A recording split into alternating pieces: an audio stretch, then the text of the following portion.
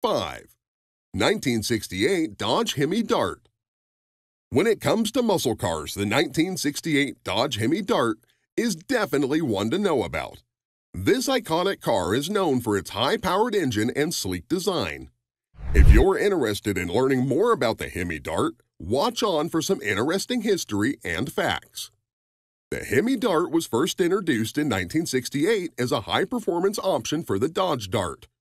The car was available both in a two door hardtop and a convertible, and was powered by a 426 Hemi V8 engine. This engine was rated at 425 horsepower and 490 foot pound of torque, making the Hemi Dart one of the most powerful muscle cars of its time. Despite its impressive performance, the Hemi Dart was only produced for two years. A total of just over 1,000 units were sold, making it a highly sought